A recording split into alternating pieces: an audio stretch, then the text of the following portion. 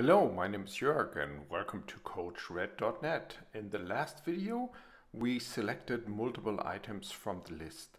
In this video, we will hide and unhide the checkboxes. In the real world, we don't want to see the checkboxes necessarily all the time, just when we select list items to perform an action.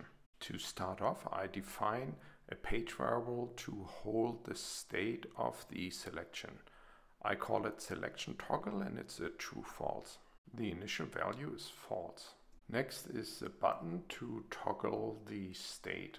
The label of the button I call selection toggle and off to the logic section. The connection tab event gets connected to an if flow function. For the condition itself, I can use the page variable selection toggle directly. If the selection toggle is true, I want to set it to false. I do that with the set page variable. The variable name shouldn't be basket, but rather select toggle. And the assigned value always false. I can simply copy the set page variable, connect it to the bottom notch of the if. So it's the false exit and set the assigned value to true.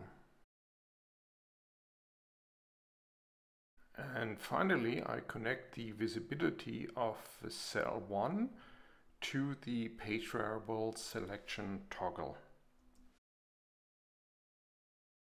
Great, then let's see how it is in the preview app. So our button is there and none of the checkboxes.